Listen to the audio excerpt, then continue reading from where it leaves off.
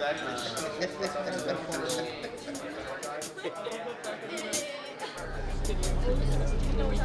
AIM is a program uh, stands for Apprenticeship, Internship, and Mentorship, and it's a program geared towards getting high school students thinking about their next steps for what they want to do after high school. We got together last night and we started with some icebreakers for them to get to know each other, how to work a room, introduction, shaking hands kind of stuff, uh, and then this morning we got up and did PT out there with some soldiers. I loved the PT training part of it because I, I got to push myself more and I did things that I wouldn't usually do that often. But I also loved the Cameron tour that we had.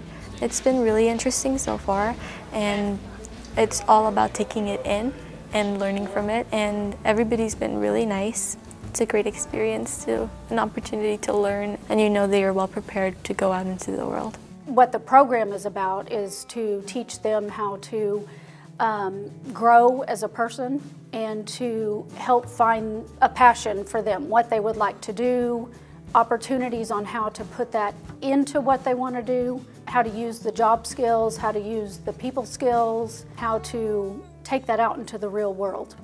I feel like it's really like a really good opportunity to like know how the real the real world is before while you're in high school. So being able to see how they work in their own office space, how like it kind of translate like your high school work and translate to actual like real life situations. We're all taking away a little bit of confidence each day as we're here because we're building relationships and we're getting experience together. So far it's really nice to meet people because they share their experiences and you get to learn from them beforehand. And it's really nice to get a little bit of information before you go into something so you have knowledge of what you want to go into. There's just so many different stories um, with the different professionals that they've met and they get to hear those stories and they get to see that there's all these different paths that can lead to a successful adulthood and so um, that's what we want to expose them to. But when they can lean on each other to support each other, that relationship that they form is something that they won't forget.